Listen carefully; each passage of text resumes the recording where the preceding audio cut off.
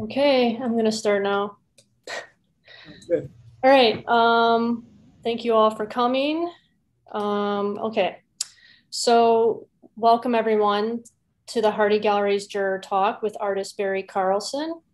Barry is a printmaker and painter who resides in Madison, Wisconsin. Originally from Nebraska, Barry received his MFA in printmaking from the University of Wisconsin-Madison. He teaches at UW Madison and Madison College and is a full time artist, most known for his landscape paintings that can be seen at Edgewood Orchard Galleries in Fish Creek, Wisconsin. Barry's exhibition record spans four decades, having received numerous awards and recognition for his work, and is in several public and private collections. He has been active in curating select printmaking shows, including one of his most recent curatorial projects, the Vox Populi Print Collective, a member based collective that exhibits both internationally and nationally. Barry has also participated in group printmaking shows, including the Hardy's 2015 exhibition, The Exquisite Corpse, which was arranged by UW Green Bay printmaking professor Christine Style. His extensive background in the visual arts is why I asked him to jury this show. His experience in both the commercial and museum art world are a valuable resource that I felt would benefit the artists who submit their work into our annual juried exhibit. With that said, I wish to thank uh, Barry for joining us today and thank you for jurying our show. You're welcome, Sarah. It's a pleasure. Okay, so the format of this talk will be a discussion with Barry about his process for jurying the show followed by a presentation of his work, and then any questions from our live listeners. Feel free to type your questions out if you're listening on YouTube or Zoom today. All right, now bear with me. I have to do a million things right now.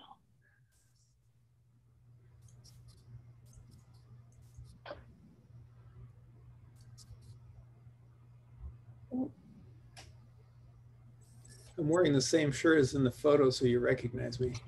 There you go. Good thinking.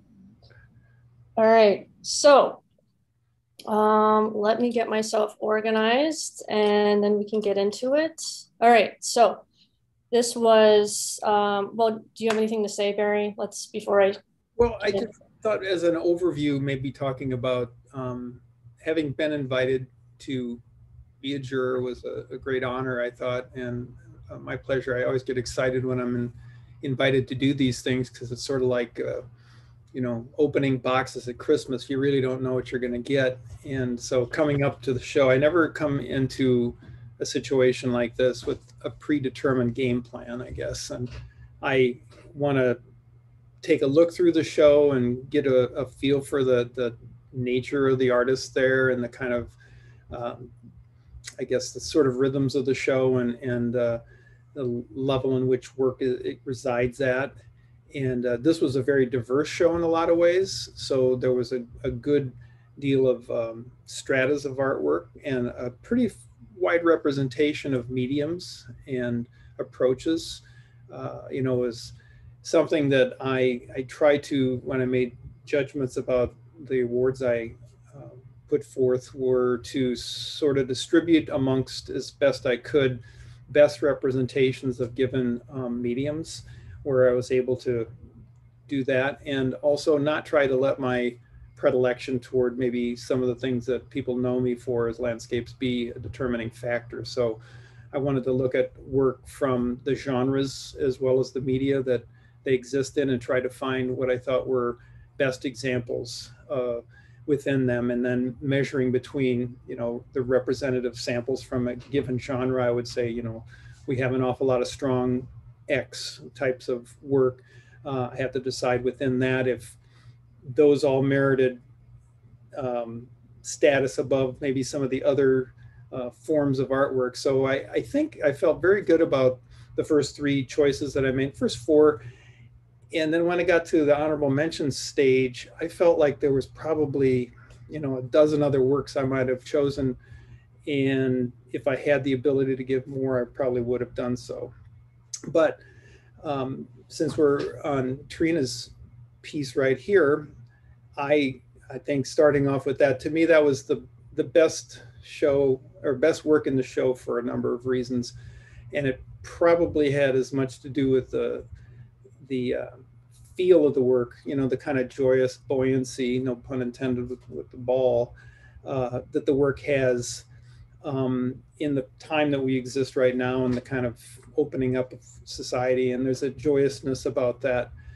Um, kind of a looking back, a certain nostalgia to the work too, that I think with the fashion of the, the bather and the uh, kind of feel for a, a, time that we all kind of missed and now are re-associating with.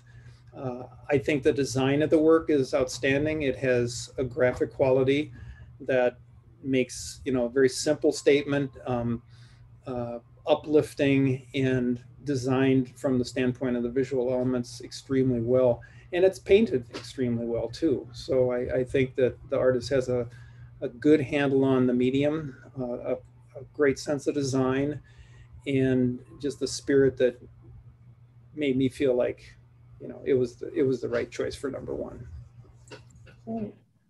Yeah. Okay.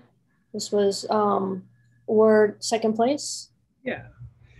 And I felt this this was a piece that I could easily have walked past for, you know, me being a two-dimensional artist, I tend to look at the wall first, and then I have to kind of remind myself that I'm walking around objects in the room that I should see as more than obstacles. They're they're uh, you know various pieces of artwork that were three-dimensional there, but this one shined for me because one of the things I like um, feel like some some bits of coming from an academic setting uh, are discounted today is uh, oftentimes in many circles kind of a decrafting or a de uh, this, this aesthetic quality and something that this piece exhibited was the opposite that it has a very high degree of finish and craft um, it's exquisitely created and uh, the design of the piece is very unusual. So it's kind of a, like a little close-up landscape of a stream with some lily pads, lily pads, and some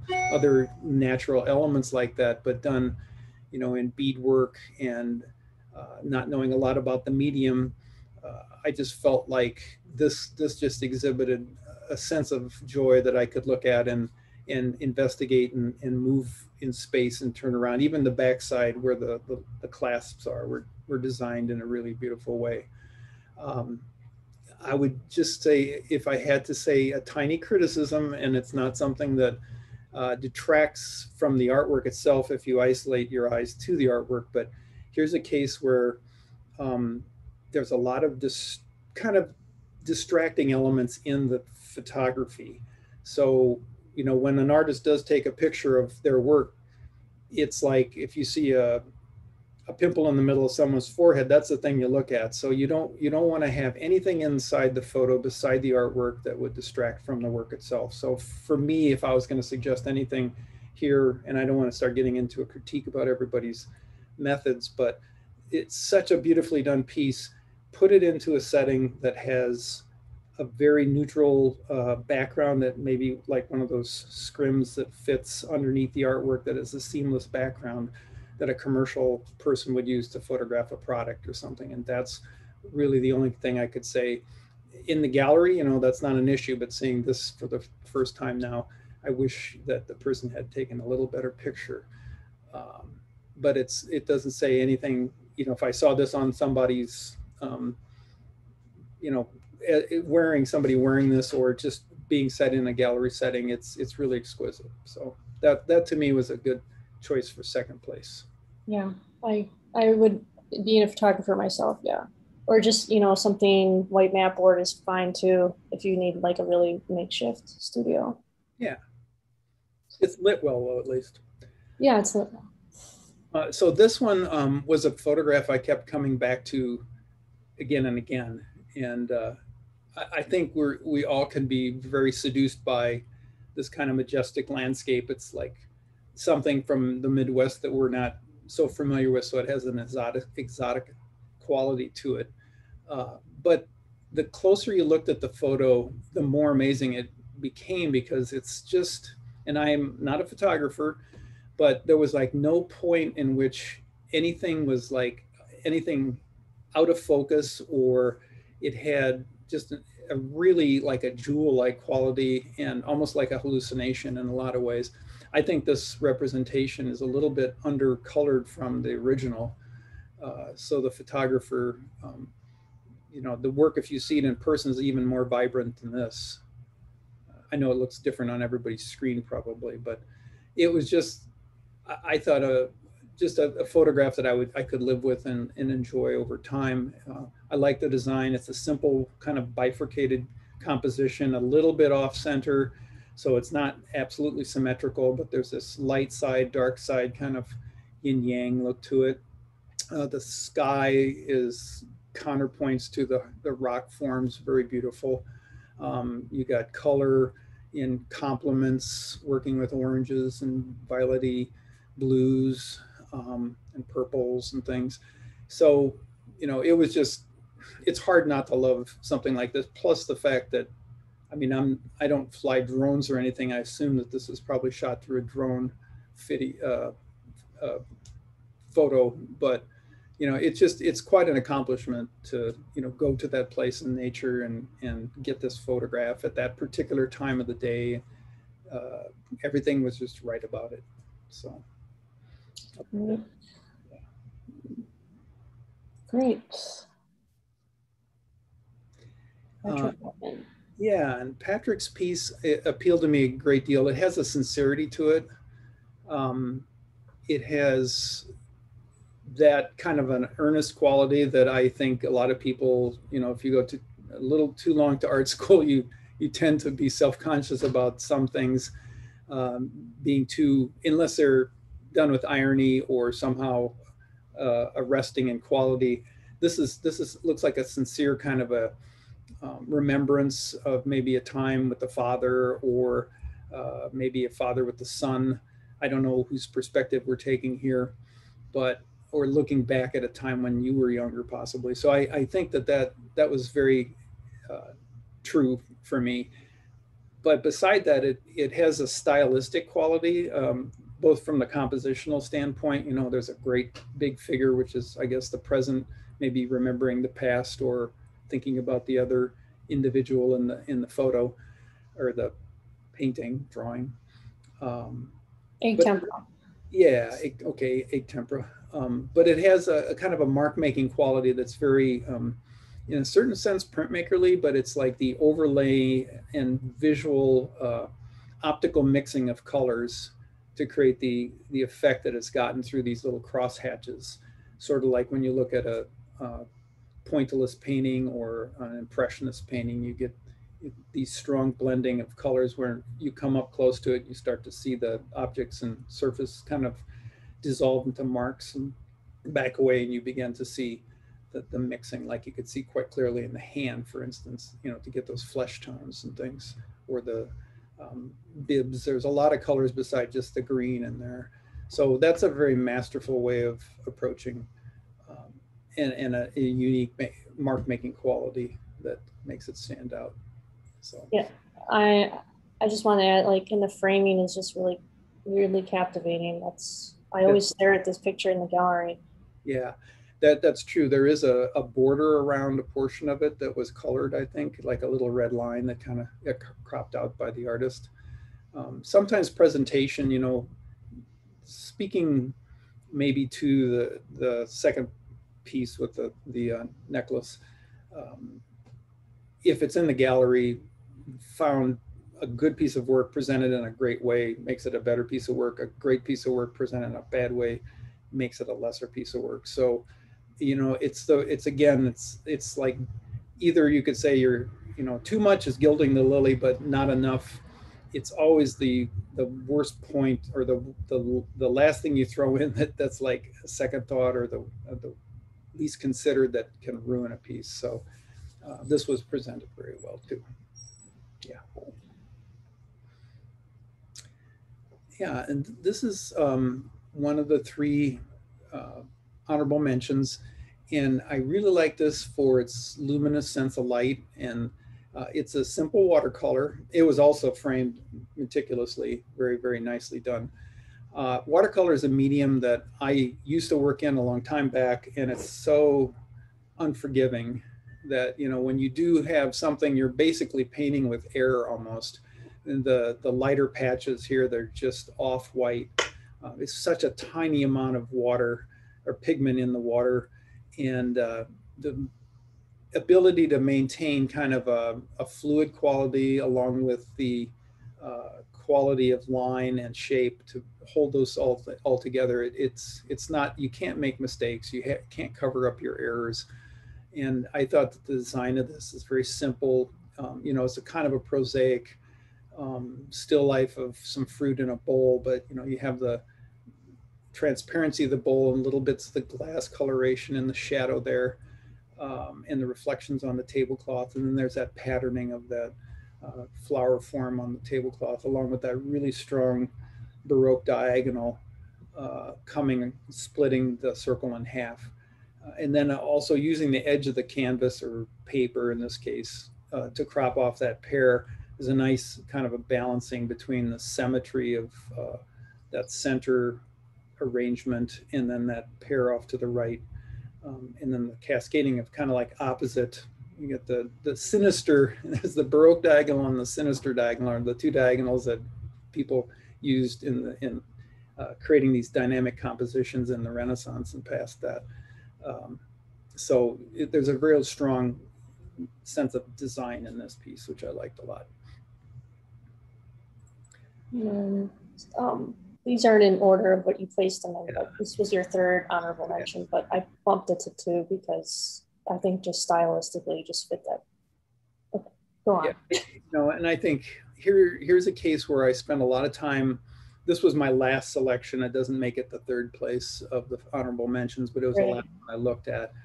And I was having a very difficult time with trying to get a feel for some of the non-objective work, the abstract work that uh, was found in kind of a nice arrangement on the wall. And many of those pieces I was just just wrestling with, which is the most interesting to me. And um, it was particularly a, another piece and this one that I kept going back and forth on. But what made me decide this was the piece, and it's a very modest sized piece. It's very maybe uh, you know 15 inches by 12 or 16 by 12 or something like that. It's very small.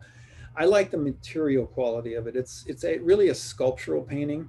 Uh, you, you, might not see it from this perspective and, and understand that, but there's a scrim that's like a window screen that has uh, paint or silk screening applied to it to create those white forms in a couple of layers. So that there's there's kind of a ghostly atmospheric interaction of those things. And then there's a layer or two of kind of a canvas material that's wrapped around after I look closely, the it's a stretcher frame that's been painted. So you're looking at the backside of what would conventional painting would be painted on, the material support for that.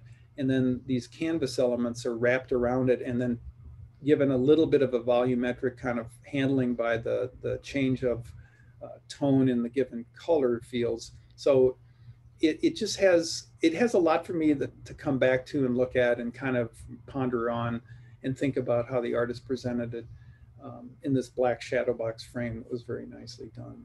So yeah, it's, it's different. It's weird. It's different. Yeah, it is, and for that reason, I think it stood out for me.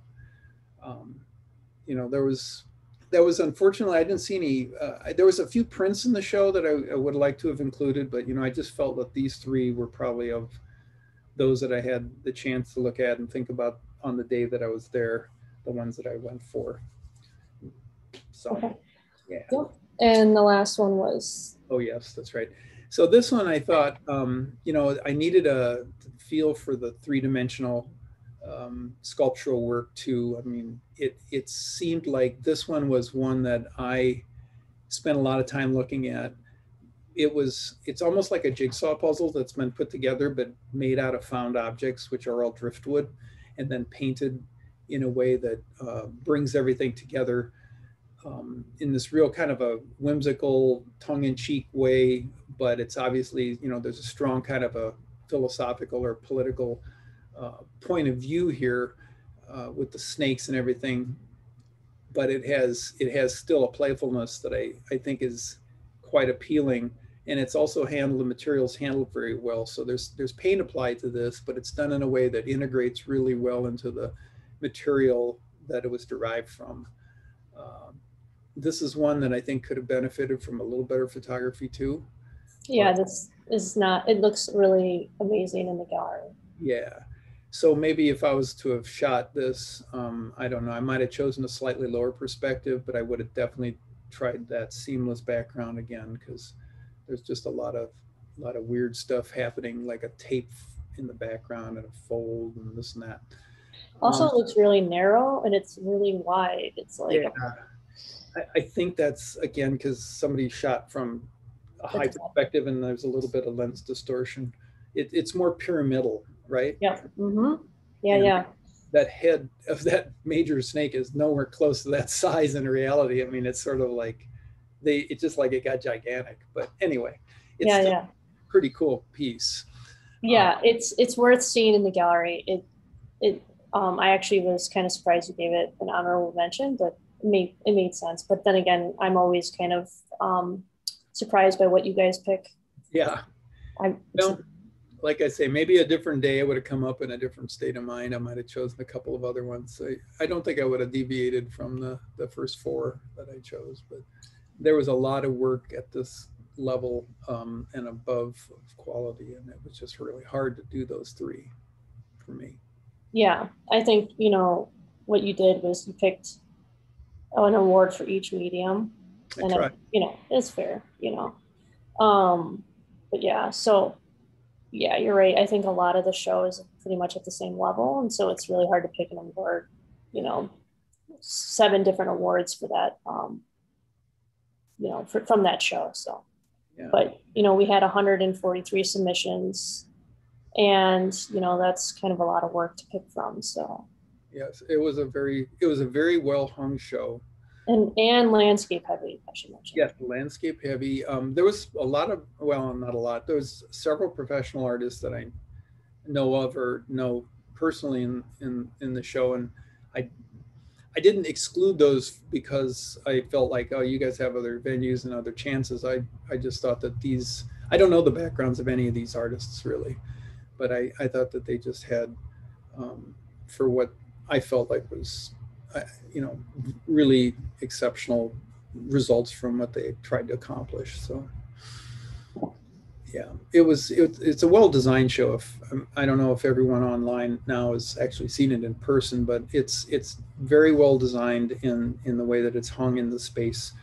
Um, it's it's you know that can have as much to do with people's opinions of shows too as the combinations of their uh, neighbors and um, arrangements uh, for scale and and uh, genre and, and subject matter too. So I thought you did a great job, Sarah, with putting it on the wall.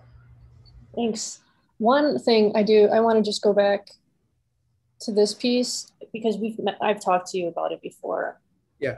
About the post editing that goes into photography, and I think Dan Anderson is just a genius when it comes comes to it. You know, um, you know he's so good at you know sharpening and color rendition and you know proofing and you know I think you can't tell on the screen.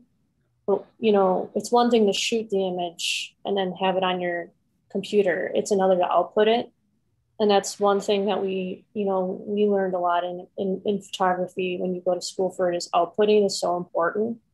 And i'm pretty amazed at how sharp this is for being a drone It's great. image. But Yeah. so much science in, in, um, in photography comes stems from like nasa you know because they need these cameras for space. So then it trickles down into the consumer level.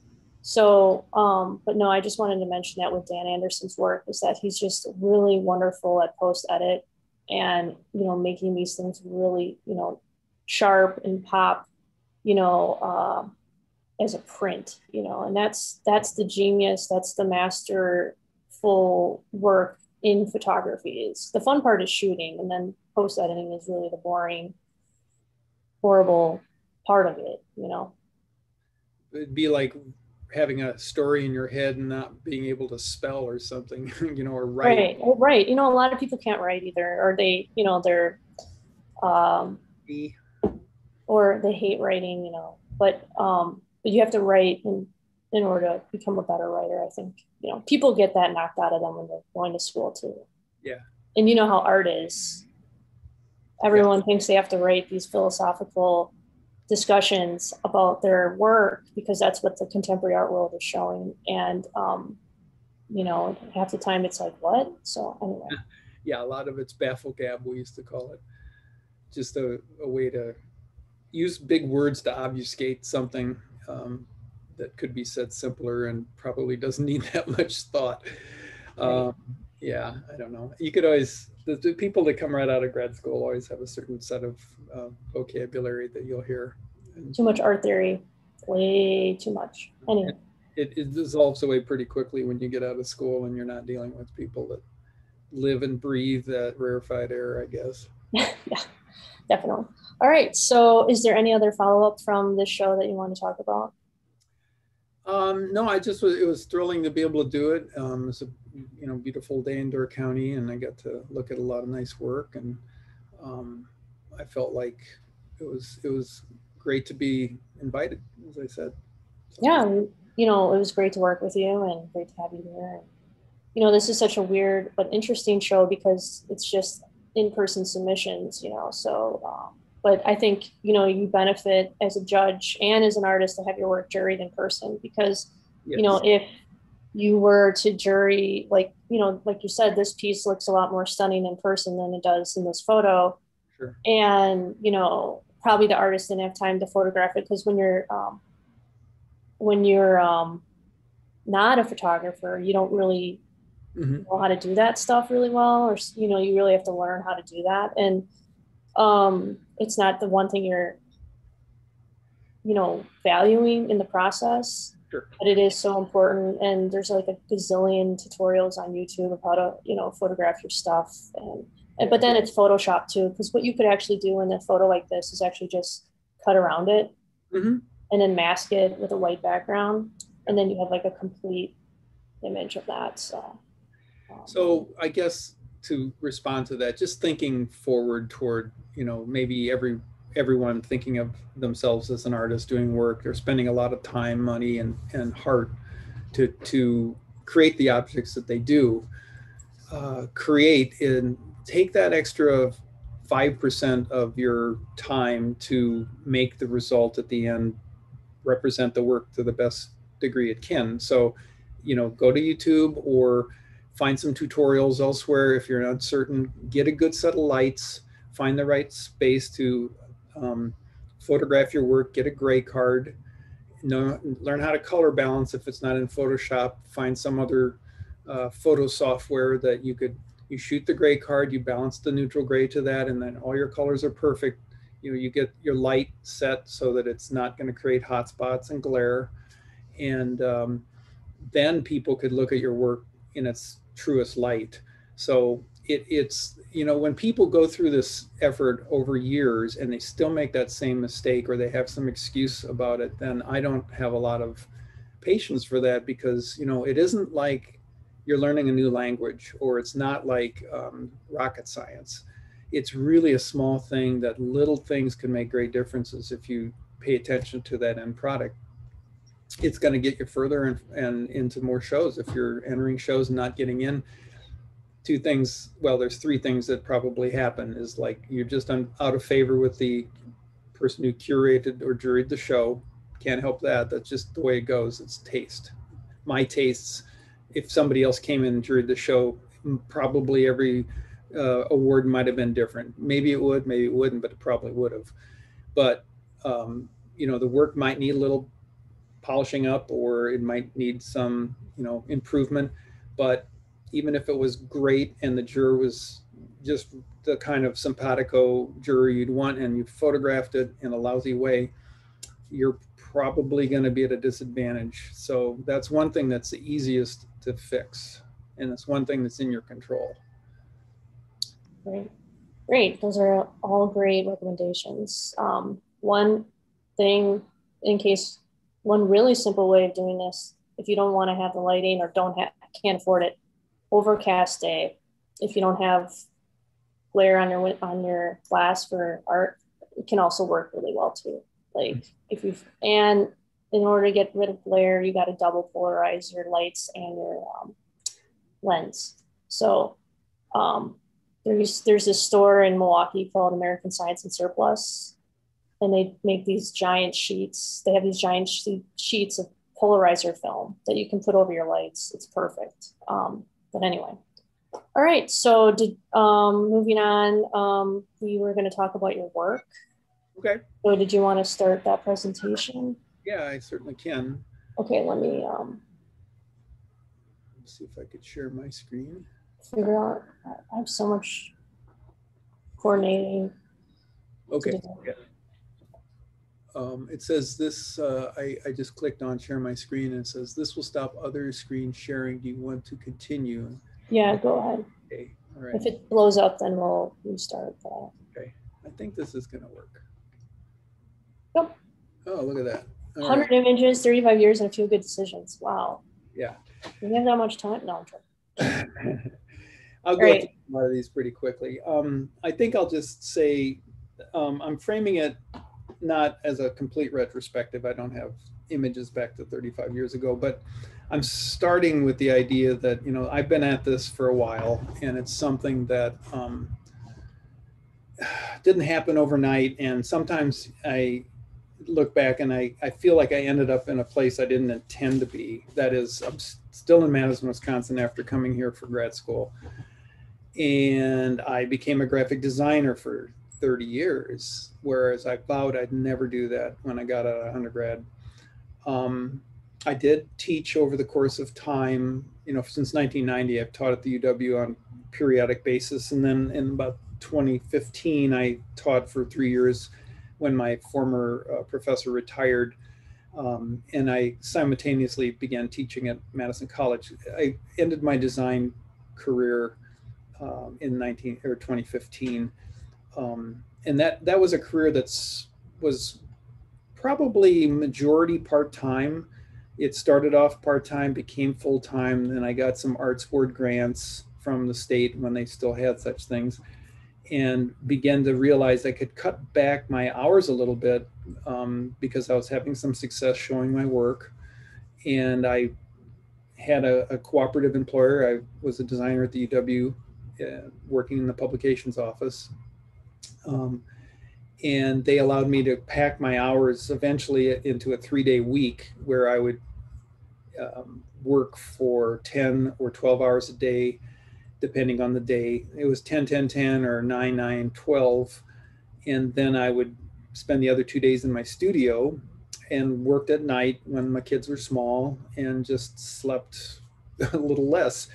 So about um, 20, say 05, I think, yeah, 20, 20, yeah, 05, I decided to improve my studio, which was a studio that um, was in a two car garage for 20 years. I painted in this garage. It was heated, and I did a, a non code uh, pipeline out there and put a furnace in with natural gas. I'm really shocked it didn't explode or burn me up because I, after digging it all up, I was like, wow, I did not know what I was doing. And I, I spliced this gas line together out of about 10 different materials.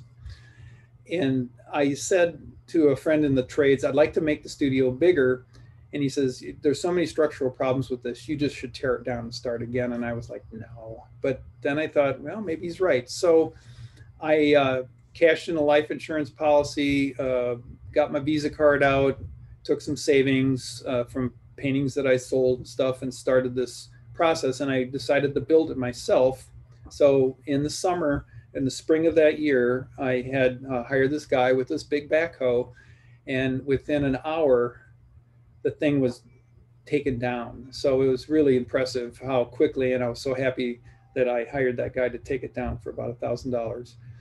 So then I had that same person uh, pour footings and foundation, and I decided if I'm going to do this, I'm going to go whole hog. I'm going to have it plumbed. It's it's heated. It's basically a house behind my house. So I trenched to the house, um, built the thing myself with the help of my son for one summer, and uh, by the September of that year, I was making paintings in it. So it has several different sections to it. It's 24 by 36 with the second story.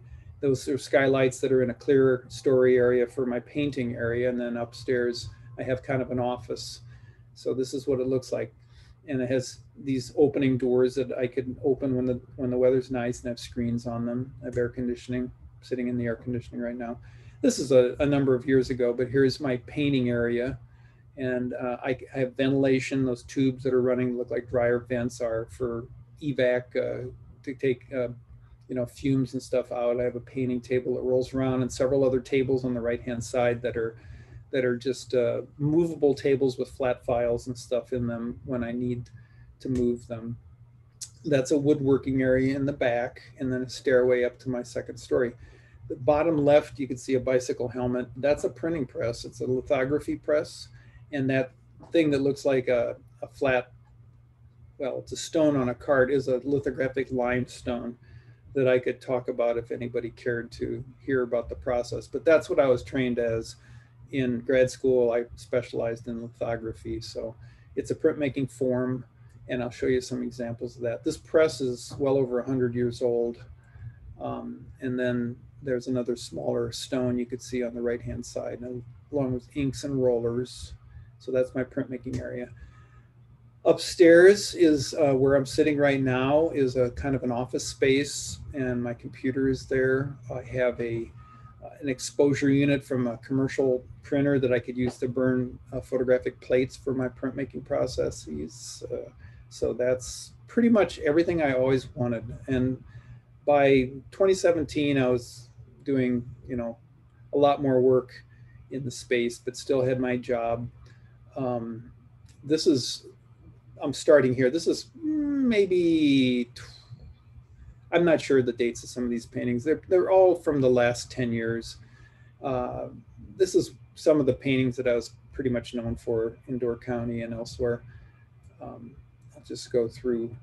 What's with the frames? You know, your, your frames yeah. are important to your piece. They are. I I felt um, frames for me, um, I like to integrate them into the painting in some fashion, so they're not a, an afterthought.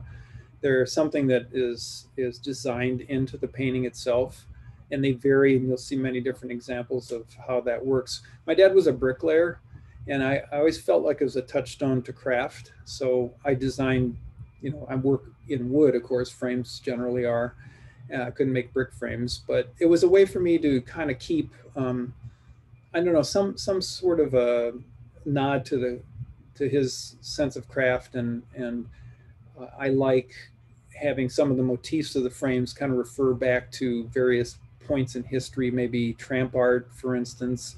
You see some of the German immigrants that came to Wisconsin that would travel around and, and some of the frames that they were made back in the 1920s and earlier have certain qualities that you'll see in a few of them. And then I've also done some carving and shaped frames. And this one, um, they, a lot of them are derived from kind of distillations of uh, some medieval and Renaissance uh, frames for European um, religious paintings too.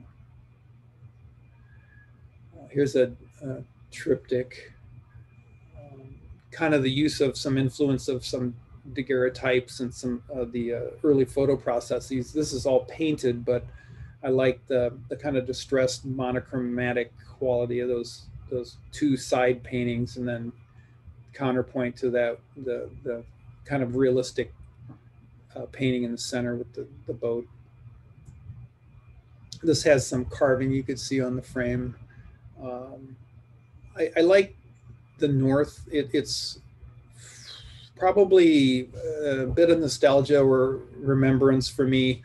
Um, going up uh, to Canada, and my grandfather had a cabin in northern Minnesota, and then I fished a great deal uh, for many years up north with and vacation with my family and and fish with my friends. But it's sort of me kind of touching on my family experiences and sort of uh, interjecting a little bit of the kind of mystical qualities that the landscape carries um, also, there's almost always the presence of a person, if not the actual painting of an individual in the in the landscape. Um, sort of, I don't know, seeking out meaning and uh, and belonging and, and a sense of place. so there's going to be a bunch of these. I just happen to like them, and um, they're they're little bit tableaus similar to many of the medieval uh, traveling altars that people uh, used, and you find also in Mexico still to this day. A lot of people use those. You see them in tourist shops too, but uh, hopefully these uh, elevate above that. So they're small. They're maybe about nine inches to 12 inches tall. Uh, they can sit on a countertop or a table, and they can also be hung on the wall. There, so they close, and then they open, and inside is a little painting in each of these examples.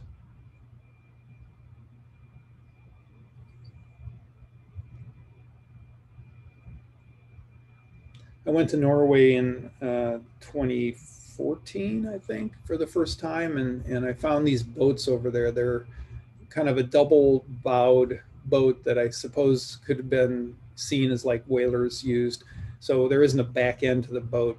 Uh, there's just a bow at both ends, and I found them very evocative, uh, many different shapes and uh, qualities, stuff you don't see over here so much.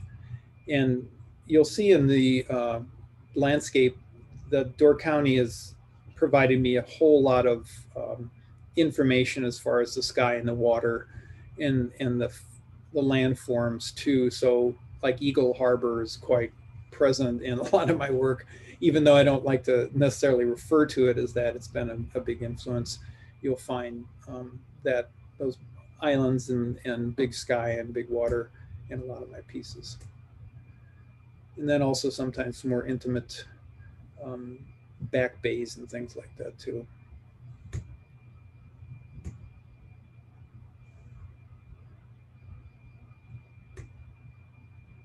This uh, painting is at, uh, um, now I'm suddenly just Right on Door County. Yeah, right on Door County. This, they bought this piece. It's above their. It's bank. really nice. I don't know if you've been on their website, but they have a whole like um, drone video and they show the interior of their new space, which is gorgeous.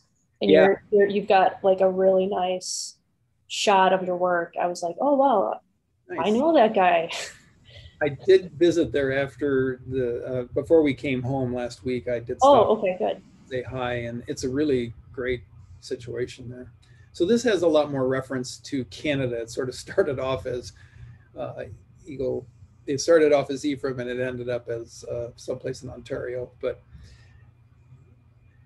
I was gonna say that, like, you know, your work really reminds me of the Adirondacks, and I went, I went, and it, it's making me remember because I used to canoe camp down in the Adirondacks, and it, it could be upstate New York, you know. yeah, it, it could be a lot of places. And I, I'm very happy to have people say, no, I know that place. I've been there. And it could be wherever you say it is. Uh, the red boat I find a lot. Um, and I have a red truck that I don't often, you haven't seen in any of these, but they're kind of a remembrance of the particular boats, the 14 foot aluminum Lund fishing boats that I'd fished in. that was a Norwegian landscape sky, but I put it in an American context. And this is the one that was in um, the This Hardy. one's currently up, yep. And here's a case where um, this is matted, so you know you could see. I should say it's in Photoshop. I've taken out the background elements to highlight, and I always include the frames in my paintings when I show them. I mean, I could crop it down to the painting itself, but I think for me at least, and this is one of those tramp art type frames, it's important for me to have that sculptural aspect included. Oh, definitely. this is currently at Edgewood Orchard. Um, and this one I think just sold, but it was at Edgewood Orchard too. And this is on their calendar. It's all it's at Edgewood Orchard as well. In this case, there's a little corner painting, and many of the times they put these little blocks in the corners, and they'll have a little piece of artwork in them that refers in some way. So There's the light in the middle. yeah that's that's kind of um it's meant to be an ambiguous source of uh, either a campfire with smoke or a ghost And the drowning canoe. yeah and then the drowning canoe there's oftentimes a sunken boat in my paintings uh, because of something actually i've seen a few times you know you'll go up to a lake and there might be an old boathouse where the transom fell off the boat and it's sunk or i've been out on the water and there was like this island that was sitting there and had two boats tied to a tree, and both of them were sunk. And it was they had obviously been abandoned there for years, but they still maintained their their rope to the tree, but the, both boats were at the bottom, or at least sticking up like that. So it's it's just kind of a metaphorical thing. Um, and this painting was uh, initially going to be in, in a show at Abel Contemporary that had to do with uh, corvids, uh, the crow family ravens. So this one is still there. And I've always, you know, been attracted or sort of intrigued by those birds uh, because of their intelligence and they're kind of they're watching you oftentimes. And this is called on the path. And uh, you know, there's kind of a communication taking place. And I, I, think it was also nice to be asked to be a part of a show that I I reached out. It's not hugely out of my comfort zone, but something that I felt like I didn't oftentimes paint those kind of things. Here's a few more door pieces. These are um, right now at Abel Contemporary.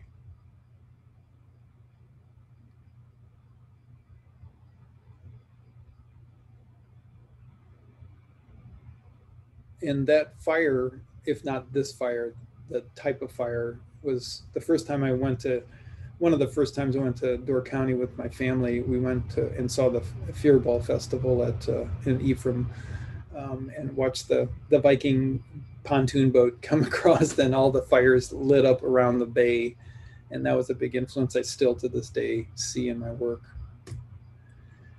So we just left paintings, um, and uh, in 2007 I got a printing press finally, about the same time I built the studio. In fact, I guess it was a little before then. But at that point, uh, I was invited to show at a, a Peninsula School of Art in a show called Black and White. And so a couple of these paint or prints might be uh, some derived from that show, but I wanted to start to use some of the graphic um, quality. And in fact, here's those two boats that were sunken partially. Um, that the medium uh, print can provide that I'd have a hard time doing in painting. And I'll show you some prints and why sometimes I think finding uh, the mechanical means and technical means of, of printmaking can allow images to be pushed beyond a place that I might have if I had just been able to paint them. Um, so I was trying to use space in a different way, use a little bit more graphic sensibility. So this is a, a, painting about my son. He was he helped me build it. So he's he's standing with this hammer and, and tool belt on one of the uh, um, tops of, of the wall joist or wall uh, studs on uh, the joists that would hold the trusses that held the roof up. So he's up there balancing. And then this is a picture of my dad when he was a teenager up in Minnesota holding, very unclear to see in this way, two fish. They're both named Karsten and this is one of my daughter and kind of a, a polka dot dress she used to wear. So dots kind of come into a lot of my paintings and uh, mm, the body of work that I guess I would say just to bring up the division. So all those paintings you saw are pretty much what I've done for 35 years or more um, to one degree or another, the representational, traditional work. And then having this influence of printmaking come in and not ha- having much of an obligation to think about it as commercial, I started to experiment a little bit more and, and just tried stuff and think thought back about you know what would happen if I experimented. I felt like a kid again in a lot of ways. And so there there are two bodies of work simultaneously existing and somewhat separate from one another, but occasionally maybe crossing over. And in the future, who knows exactly where all this will go. So this was the fourth of a state print. And a state print is a print where you you print it once and alter the matrix that is the stone, or if you're an etcher, the plate, and then you print it again and you alter it as many times as you wish. This is the fourth of uh, a couple of three, I guess this is the third of four iterations.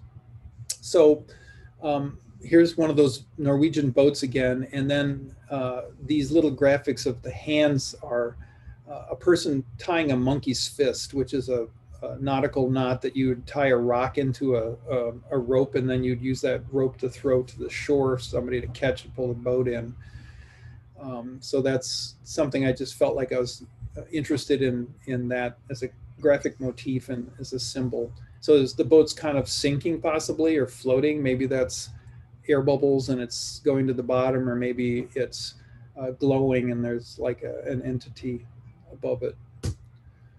So uh, in that visit to Norway, I saw some Viking runes, um, these upright stones like cairns that you'd see um, in other, you know, very early, I guess, Neolithic cultures, maybe after that. Oops. Um, so it was kind of a dream of, of that. So that's this is a lithograph. All the prints I'll show you are lithographs or collages of lithographs. And then we made a, a, trip as a family, my uh, wife and daughter and son, down to Mexico. And so I had this uh, picture I snapped of the kids running into the ocean for the first time, and I've used that in a lot of, of prints. Now, these I'm just going to rip through because you'll see the reason. One of the reasons why printmaking is good uh, to develop ideas is that you have a you have an, a static image that you could print multiples of and be identical, or you could use different colors and different combinations of process to take that same image and transform it into many different iterations that it would be like starting a painting from scratch, but you have this matrix that you could just use and build on. So some of these are collaged, some of them are painted on, some of them are mono printed, which is a technique where you just actually print uh, and paint on printing ink on, on a flat surface. It could be the, the plate or the stone, which I'd used, or it could be a piece of plexiglass and you just run it through the press and it offsets the ink onto the paper. So I thought, how could I maybe make some of these things in a painterly form. So these are paintings on paper of that same subject matter and trying to bring a little of that printmakerly quality into paint. So these went to a show I had in Norway a couple years after that first visit and are still there sitting in a gallery. Um, I did that, I guess, about five years ago now. And this is a painting um, more recent. It's probably two years old now that I tried to use some of the graphic motifs in integrating that into the landscape form. So it's kind of like a little bit of a hallucination or a dream um, presented in a traditional way. So I, will just say that I threw it out there and I tried it, and I'm not sure exactly where that's going to take me, but I was um, something that I'll, I'll investigate further as the whim, you know, comes up. So I, I don't think this is the kind of work that's going to replace the work that I first started showing you, but it's something that I thought about um, and I will continue to entertain. So here's a full color lithograph. And anytime you make a print of any sort, pretty much every color is layered upon another color. You design the print sort of deconstructed from what you want the end result to be in your mind. And then every run through the press is a separate color. And then as they combine on the top of the paper over and over, um, they optically blend colors and then fit together like a puzzle until you get the result you're after or not. but anyway, that's now here's another example of um, using a state print. So it's a single design. There's the, the, bodies in the back, and then I have this ring like a golden, kind of like a um, in a, a, chain that sort of um, is is binding together like like a ring would, and several different ways of using the same thing in different color arrangements with different elements. And then you could start to delete or add elements so that the very final print, I basically took out the characters, accepting a couple of hands and then that ring. So again, you could use the process to advance ideas.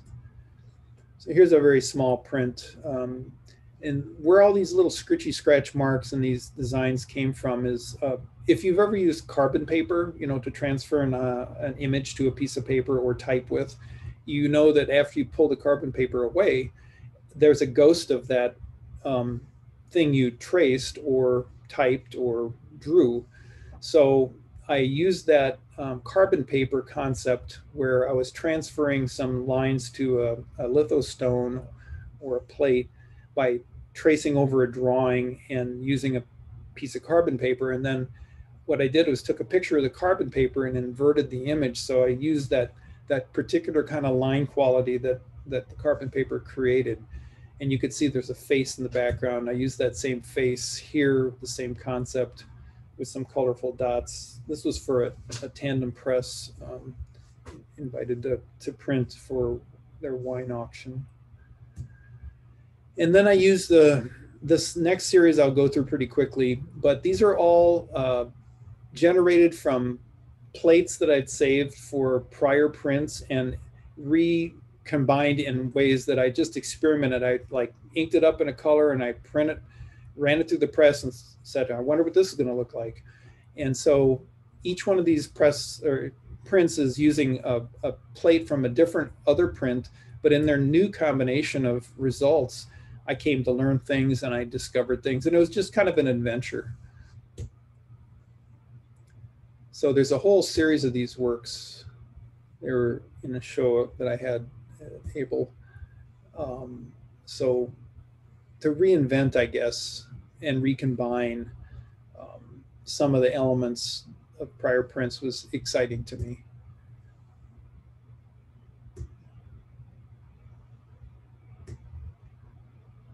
so they're very graphic. They're very, um, I guess, much leaning more toward the kind of skills set that I used as a graphic designer and an illustrator.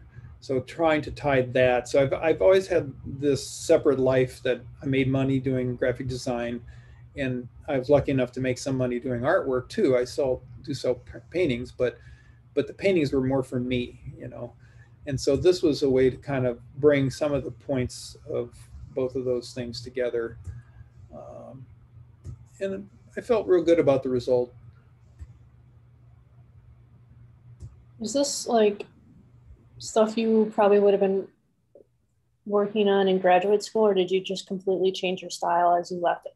I would say this maybe leans back to something I would have been more likely to do in grad school. it, it isn't exactly like what I did, but but I think um, being around teaching again, uh, being around students, kind of getting um, a little fired up about some more contemporary issues. You know, because you if you're painting um, in your studio and you show in galleries. Uh, it takes a lot of energy to get out eh, out of that circle and i don't live in new york and even if i did you know you wouldn't be going to the museum or, or different galleries every day, you start to kind of get into this interior space. So getting outside amongst other artists made made me think a little bit more about things that I might have engaged with. Like I said at the very beginning, I, I kind of ended up in a place I didn't expect to. And the work was a natural fit for me that I became known for, but it wasn't what I set out to accomplish. So these were kind of touching, oops, touching base with maybe a part of myself that I, I feel like I left behind a bit. Here's a couple of other monoprinted um, images.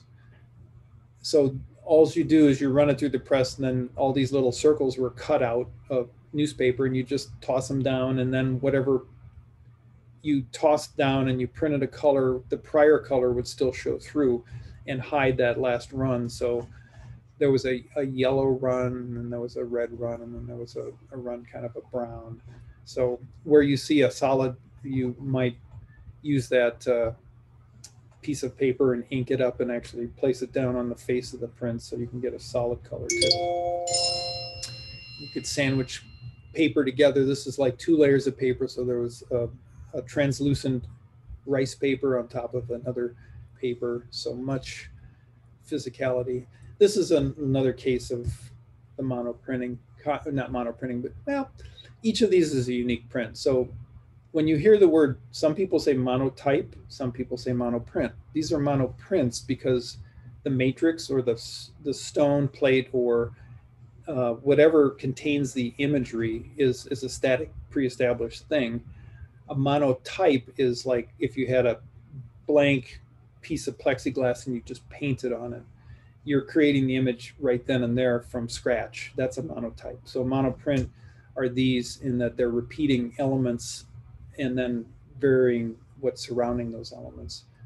So there was about 20 of these and each of them is different. And again, it's sort of like, wow, what's going to happen if I put this down? I have some idea, but I don't have a complete idea of the results. So it's exciting. This is just a four color print. And I started to get, I'm, I'm currently interested in, I'll probably make some other prints that'll look a little like this of these kind of atmospheric phenomenons. Maybe somebody, you've seen sort of a time lapse photo of a guy with a flashlight at night or something like that. But some some things that combine some of the separate spaces and times with some landscape elements. Um, this was created by fingerprints, just like taking my uh, finger and pushing. It's a print, but the uh, if you looked closely at the face, and you could see it in the trees down below, they're either thumbs or fingers that are creating the mark. This is the last print I did um, just recently. It's a four color print and I had a picture of this. It, it doesn't matter and actually kind of probably wrecks it to tell you this, but there was a missile that misfired from a submarine and it made this this kind of Fibonacci um, that that spiral in the in the air and I took the, the missile away but I just found it an intriguing form. And then I, I think of when you're casting a line, you know, toward some something, hoping to catch a fish or whatever. You're out at night, and you have this this kind of a furling of the line too. And so there was kind of this mysticism and um, mystery about you know what this guy's doing in, in the boat late at night, and and these kind of light points of that white oar, the the uh, rod and then this this uh, spiral in the air. So that's pretty much it. I don't know if I'll entertain any questions that people have if they care to ask, if they're interested enough, or um, you could ask me, Sarah, if there's anything that's confusing or you want to. Yeah, read. I always, you know, I stud- I took printmaking. I love printmaking, and I but I never took lithography. How do you do that? Yeah, litho's the one. It's sort of like the rare air of printmaking, and people are frightened by it, or there's very few places that offer it. So the the concept of lithography is that oil and water resist one another. So let's say in the original, um, Alois Senefelder is a guy who lived in Bavaria, and he was a, a music publisher, and in 1798, he, the story goes, was writing with a laundry crayon on a, on a, making notes on a limestone tablet in the garden. And then he somehow, for some reason, pushed paper against it, or maybe sat on it for all I know, or leaned on it. And then when he pulled it up, he noticed that the image was offset under the paper. So this is a, a direct printing process, just like with etching, you have to draw everything in reverse. So it's backwards. If you write something, you have to write it backwards because it's going to print on the paper and then be lifted off and be in the correct orientation. So the concept goes, um, if you have a greasy material and you have this limestone that's like a, it looks like a gravestone, uh, perfectly uh, pure surface that loves both uh, grease and water. Uh, you draw with the greasy substance and then you take um, gum arabic and some chemistry and you wipe over the top of the, the drawing once you're finished and it won't displace any of the marks. But what it does is chemically change and create a stencil, so to speak, between that non-image area and what you drew. So then you wipe it down like you would wipe a table really tightly. You get that film of gum arabic so that the uh, it's it's exquisitely flat and smooth. And then you wash away the drawing material with the solvent and then you basically you have an inky roller full of uh, oil-based ink and then you have a wet sponge and some water and you take the wet sponge and you wipe it over the surface of that stone that had the image on it. And then as long as you keep it wet moderately wet and then you roll it the ink sticks to the image you drew. And then pretty soon it looks exactly like what you drew and you could print it in any color. You put it on a printing press like I showed you, and it's sort of like um, a whole lot of paper, or pressure rather, placed on a very small, like quarter inch band of wood with a leather strip. And you put a piece of plastic down and some grease on it, and then you crank it through the press under pressure. And that pressure just takes and pushes the ink into the paper and you pull off after you run it back out you pull it off and you'll have that impression of that drawn material that you've the image you created right on that piece of paper um, so unlike uh, and it's called planographic because there's no actual relief like in an etching you have a relief uh, in a surface that either in intaglio you wipe ink into and then wipe the surface off so it only sticks into the low low points and then you run it through the press. Or in relief printing like um, wood cuts lino cuts and uh, printing that you'd find in letterpress you're rolling a roller on the top of the high points only the top is catching ink um, and the low points don't so this is like absolutely flat the only thing that creates the image is that water barrier between the, the place that the ink wants to receive and the water is keeping the ink from touching the stone and receiving. So if you let the limestone dry or the, you can also use uh, aluminum plates in the commercial world, they use aluminum plates. You roll it, it's gonna just go totally inked. So you have to have that water oil kind of balance down. So that's the gist of it. But Then what's the sanding part for? uh, sanding, well, you know, if you made an image, you've got this stone and, and that giant lithostone that I showed you way back here. This is pretty fun.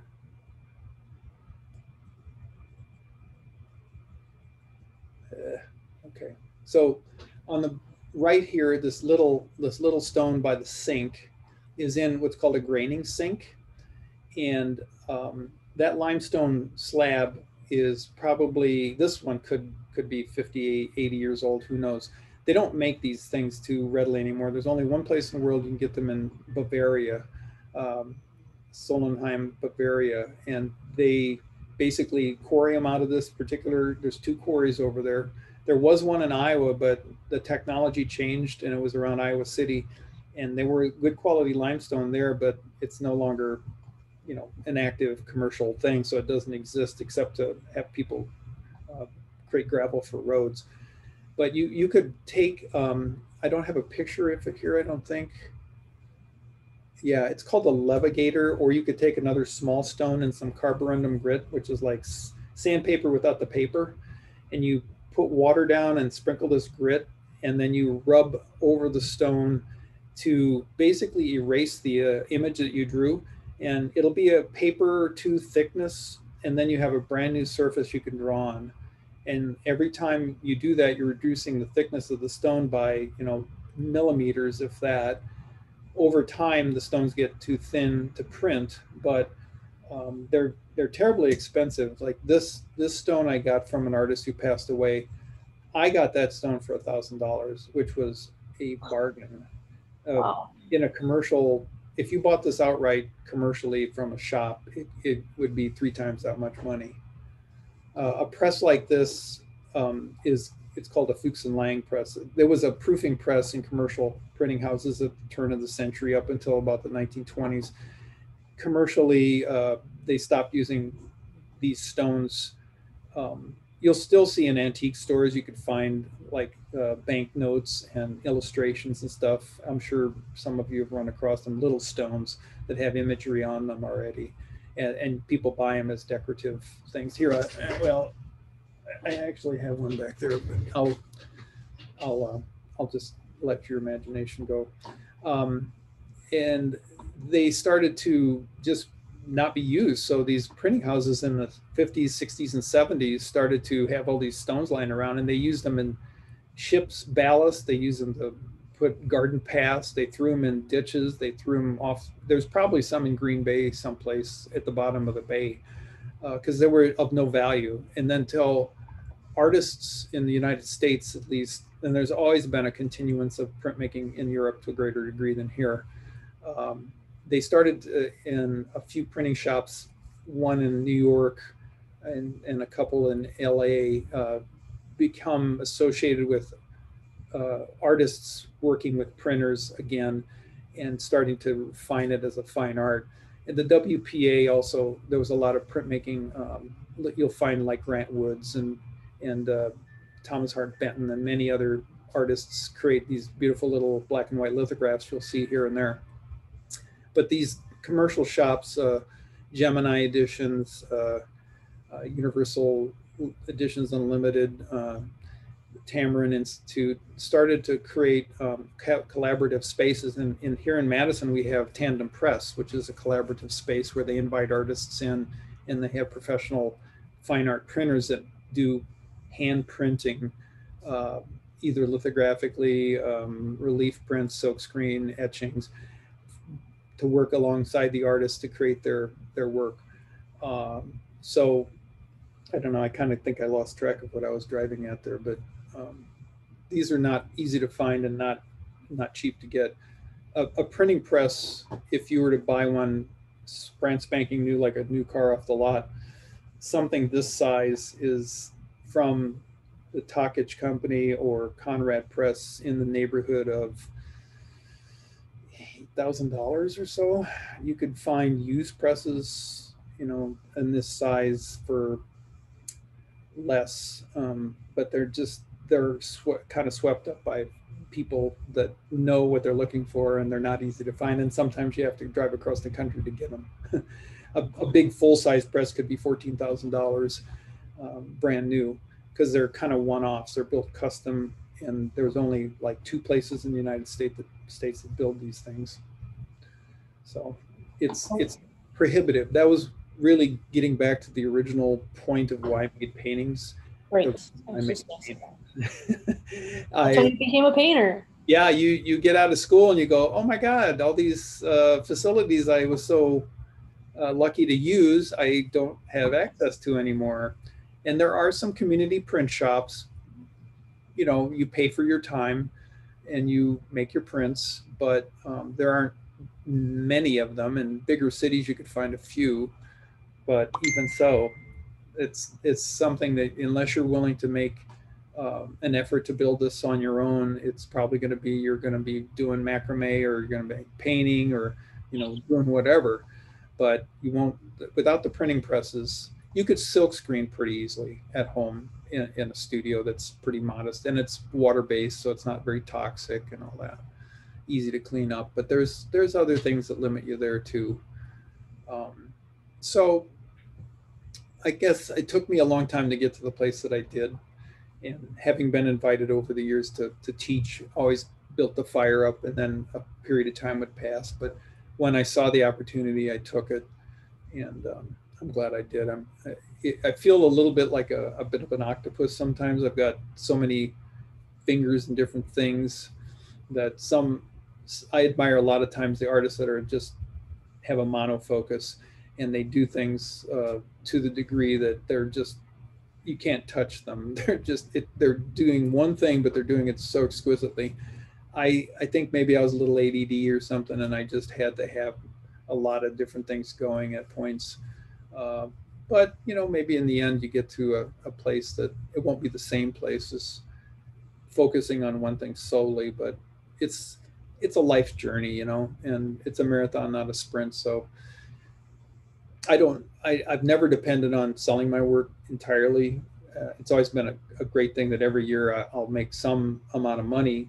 And there was a couple years when I was really selling well that I thought maybe I can quit my day job, but that's its own set of problems. And you know, you you could talk to an artist like Craig Blietz, and he'll tell you what those problems are. Um, there aren't that many artists that actually do work entirely support themselves from the work even in New York. And, and we see these one tenth of 1% artists that, that are very successful and quite wealthy. But if that's the reason you're going into art, you're making, you should just become an investment banker or, you know, be a financial analyst or something, because it's not about the money, that's for sure. Uh, it's got to be a drive or an internal thing for you to do. And it's, it's very, you got to be willing to hear a lot of no's and sorries and you know, you get that letter back. And believe me, I mean, I this year I entered a lot of shows that I hadn't done for many years, and I got I got as many letter back letters back saying it was a really strong field and sorry you didn't get in. You, you just got to get used to that. I mean, it's just part of the deal, and and you understand it's one person's opinion. or maybe a couple, but it's not the definitive opinion. There isn't a single thing. It's subjective and it's not like adding up numbers. So can't let yourself get too bruised up about it. No, you need to have um, a very healthy ego and Yeah. thick skin. Um, I also wanted to mention, you know, uh, printmaking in the professional or in the commercial world isn't sought at as as valuable too. You know, even though one of the biggest artists in the world, Andy Warhol, Yeah. was a printmaker, but his work in the museum world in the institutions is labeled as painting because he used paint to Yeah. screen print on his work. So it kind of diminishes the value of print. Yeah, it's a it, for he, he's kind of a weird hybrid because I mean he screen printed on these canvases, so with paint, and so are they? They're mechanically produced paintings, or are they prints, or we we don't know. Robert Rauschenberg, same thing. He used a lot of lot of uh, those same techniques to create his his museum quality and, and scaled work. Uh, I think the big distinction for and there there is a, a circuit or a um, an orbit of the art world that printmakers can exist in, but it's it, it is considered a secondary art uh, by painters particularly. but the people that do um, make prints like at Tandem and um, some of these other places I talked about are painters that make prints. That's slightly different than being a printmaker, if that makes any sense, because they have uh, some cachet due to their success as painters that translates into sales for prints. But to be a, a guy who or a person who strictly makes prints and not paintings, it's a very limited subset of the art world. And you'll find um, people are always confused about what a print is. Um, you see Terry Redlin prints or Thomas Kinkade prints or any print of an artist that you can name you may not know by by personage but here's a here's a a, a poster sized painting that you I mean print that has a number at the bottom. And if you if you're familiar with the way the numbering works there's a, a number and a slash and another number sort of like a, a fraction it looks like. The top number is the particular print that that the print you're looking at. The bottom number is how many prints there are. That's called the addition. So if you're printing something and you're taking a picture of an existing artwork that be a painting or some other piece of artwork that is existing in the world and then you make a reproduction of that and then you print that that's not a print. I mean that is that is a reproduction of a painting but it's not a fine art print.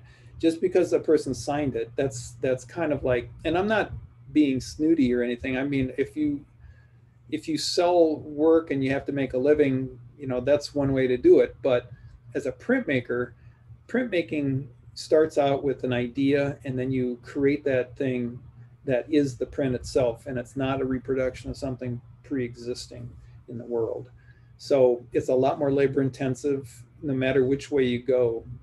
Silkscreen etching lithograph uh, relief print that could be you know your wood cuts and your lino cuts. Or if you have letterpress capabilities like like uh, design work for a book or something like that. It's all done by hand.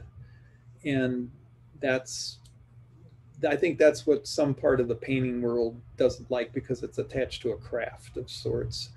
Um, i think that's disrespectful myself because i mean i could find um, a lot of superior artists that happen to be printmakers to a lot of the painters that i see. So it's never like this or that. It's like you just have to look at everything as that particular instance, that evidence of that particular artist's body of work, and just judge it upon that, not the medium.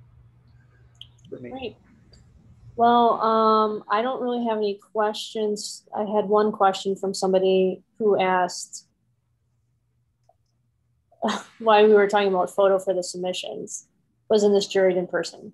I think we just were covering in case you were going to submit to a different show other than ours, why you would be focused on photo. I think, Uh, it's, yeah, a bit of professional guidance because um, not every show, very few shows you submit in person. Most of the time, if you're interested in doing submissions to jury shows, it's going to be by photo. It's gonna Online submission these days, you don't send a slide or anything, but you're still gonna have to take that picture. So, and you should also take a picture for your own archiving. Um, if you are selling work or giving work away to people or whatever, or just maybe you want to participate in social media, you should take pictures. Um, that's that's why. Oh, great. Um, everyone, I, I said beautiful work, enjoy learning process. So that's great. I guess one last question, and let's just wrap this guy up because I don't know. Maybe you said this already, but I don't know. Okay. Where where's your ideas coming from? I mean, Oh. these are like dark. You got this canoe that's drowning. Is this? You got the figure. Um, you know, it's camp. It's camping or it's nature, but it's Yeah. I don't know. It's like also surreal because I get like a real Robert ParkeHarrison vibe from your work and Gregory Crewdson, who are two photographers Okay. that do really dark, surreal Yeah. imagery. I'm just curious. I'm I don't not- know. Maybe you covered this already, but I, I actually didn't. You know, this is one of those things where if you do it long enough, you don't talk about it all the times. It's sort of like it's it's not something that I um, I verbalize a lot about anymore. But it probably has fragments of my childhood um, being, you know, a little terrified of some of these places, and yet going up there and enjoying my time with my family. But you know, lakes are scary, and the woods are scary and they're beautiful at the same time and and you're also in an environment that's foreign uh, at least from my uh, everyday life you know someplace that you look at uh, and so there's these kind of mixes of romance and and nostalgia with um, I don't know. There's just there's things about it. I guess you never grow up. Uh, some people say, you know, you're whatever is ingrained in your personage when you're young, it sometimes just exhibits itself in different ways as you get older. And I mean, I'm not like afraid to swim in the lake anymore. Um, not uh, afraid to walk around in the dark or anything like that. But some of that just there's this little seed in the back of your head that still has it holds on to some of that. And there's also when you find these personages. My dad died when I was uh, in my 20s, and you know some of that is loss, I guess. Of, and, and there's always a, a person that's out of reach and in the distance. And uh, like with fires, as a place to gather around. They're they're they're warming and some sometimes destructive and other times uh, life-giving. Um, so those kind of things uh, little elements like there's a bait bucket here, just things that I remember seeing when I was younger. And I don't always entertain these themes as much as I once did, but you know, every once in a while I'll get something like this Norwegian boat that kind of kindled an idea. Um, and I think of the sublime, like I, I look at uh, some paintings from the Hudson River School, um, Thomas Cole, uh, Caspar David Friedrich, the the American West, and and I mean I pull in from a lot of different places. There's a, a sense of uh, romance and that kind of open possibilities and in nature. Uh, then there's I don't know. I have a Northern European soul, I guess. In some ways, there's something kind of uh, I don't know. I'm a glass half full type of person generally, but there's some part of me that just has some of these kind of longing and loss feelings. The boats oftentimes are drifting unmoored, or you're alone in a big space. There's a little campfire over here. So I don't know. You know, it's that's that's what propels the traditional work. Uh, when I start to move into some of these paintings um, that start to and prints, it's it's oftentimes trying to find a balance between some of those ideas or trying to rid myself of some of those ideas that you know get my mind out of a groove because it's it seems like you know it's easy to constantly you know go back to what you're used to and challenge you yourself and try to do things that might have more formally uh, interesting working with pure color or uh, the idea of in, you know intentionally leaving some information out um, trying to work with design a little bit shape using process like i mentioned before to kind of create something you hadn't set out exactly to do and you're discovering along the way. So I hope that covers the bases. Yeah, that's great. You're Well, um, I don't have any other questions and, um, but yeah, but thank you so much for this presentation and for coming up and during our show. It's great to have you and meet you and get to learn about you and, um, you know, I had a, um, it was nice time to work with you on, on this show, you know, even though it's not in person yet to do the Yeah. feedback part of it, you know, but um, I think you know you picked a lot of good pieces in the show for awards. Um, like you said, there's a lot of good work in the show that is the same level, and you know to go through and have to pick this, pick out seven different awards is challenging. So I, I, thank you for your your work and your um in in this talk. It's been fantastic. Thanks so much. I All thank right, everybody for coming. Looks like we we kept most of them. A few of them dropped away, but some of them dropped out. Um, others stuck around, but we had a few